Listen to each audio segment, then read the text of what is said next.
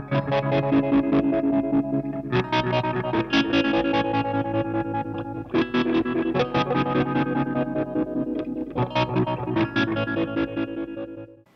everyone, in this video we're going to be building the Electra Distortion. Uh, this schematic actually comes from the Beavis Audio website and I highly recommend going to um, his website if you're new to electronics, you want to learn about electronics because he's got a very, he's got an excellent way, uh, very easy to follow way of um, uh, yeah, of, of, learning electronics. So go and check out some of his articles on there and have a read because you'll, you'll learn a lot from it.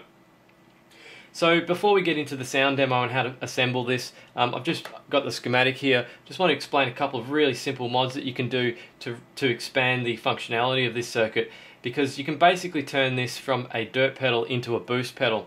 I'll show you how to do that. Basically, these diodes on the output provide the clipping of your signal and that's what gives you the, that, that sort of dirt sound. Um, it's pretty much, this part of the circuit's pretty much a boost pedal and this part of the circuit's a, a uh, provides the clipping of the of the um, of your signal. So if you knock those two diodes out of the circuit, you actually get a very high voltage on the output. So to to do to have a you could implement a switch so that you can turn the diodes on and off, and you can switch it between a boost pedal and a and a dirt pedal in that in in that way. And to do that, you could use a toggle switch like this one. Um, this is an on-on toggle switch It just flicks between the two. It's not an on-off-on. Don't get that one. You want an on-on. And you can see on the bottom there are six lugs. So basically, I'll just draw how that's actually going to work on here. Um, this little pitch is kind of three-dimensional. And um, basically what you're going to want to do is, draw that in. So that's your toggle switch. Basically, you want to do is take these two points and go to the middle lugs like this take two more of the uh, take two of the outer lugs and go straight to ground. These are just wires. There's nothing connected to them. And then on the final two outer lugs, you want to you want to put your diodes in. So you wire them in much like this. So when you flick the switch, you're flicking between no diodes and diodes. So you can so that's how we're going to do the boost. These these um, the, so just ignore this whole area. This isn't in the schematic anymore. This is all you'll need. So on the output, um, you're going to get, you may have asked, that's great, but when I hit the switch, I'm going to get a massive volume on the, on the output, a huge volume boost that I can't control.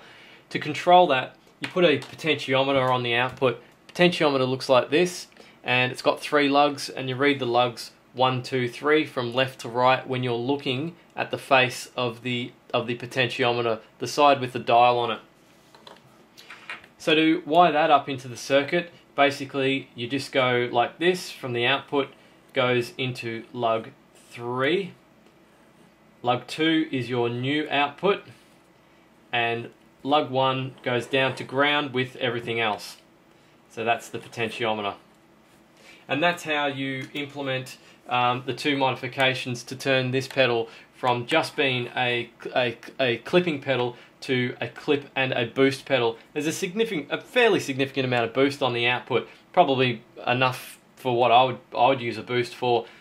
So this video is definitely going to go over 10 minutes, but um, I just thought that would be beneficial to explain how to do that modification because it basically turns this pedal from just a dirt pedal into a boost and a dirt pedal. So let's hear what it actually sounds like now. So again, don't be intimidated by what you're seeing in front of us here with all the wires and everything. I've just breadboarded this to test out um, the, the modification and I've actually wired the modification. I'm going to give you an example of what the, what the mod actually does. Um, this is my clipper box. I, I, showed how to build this in, a, in another video and it's got a whole bunch of different diodes. I found the best combination is to have very low forward voltage um, diodes, two of the same pretty much. So for instance, anything around sort of 0.3 of a volt. So IN34A, which was on the Beavis um, schematic, or um, another one I've got is BAT41. That's also pretty low. Um, IN34A is actually lower than that though, and the lower the better because, like I said before, if you knock out the um, diodes, you get uh, uh, a, a higher volume, but you lose clipping. So the lower the forward voltage with the with the diodes, the uh, the more clipping you'll get. So that's the lowest one I've got in my list here, the IN34A. So here's a quick sound sample of it. Um, my son's asleep at the moment, so I can't crank it up, but um, hopefully be able to hear what it sounds like.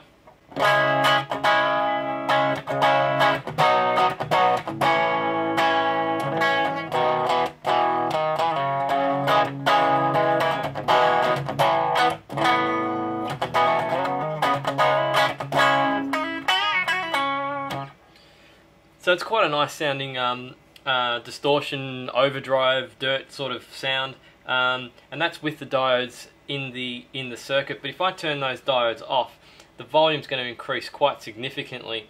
So you're just going to have to take my word for the for the boost part of this because this mic just condenses the volume anyway to prevent it from clipping. So um, yeah, I can tell you it's got a it's got a decent amount of boost on it, and um, you know it's kind of, it's not it's not it hasn't got a massive uh, uh, boost on tap, but it's definitely worthwhile doing.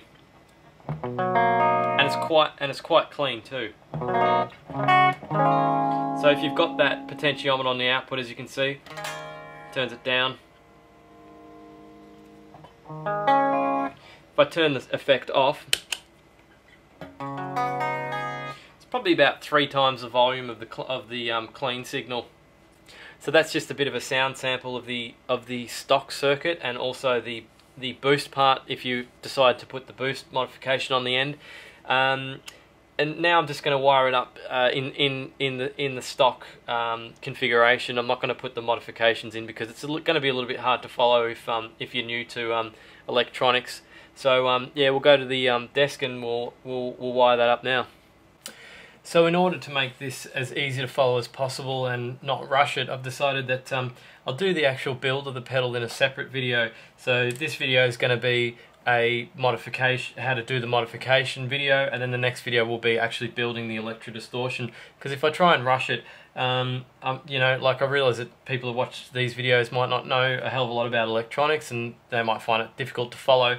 So I'll keep the um, I'll keep the build the build video as a separate video.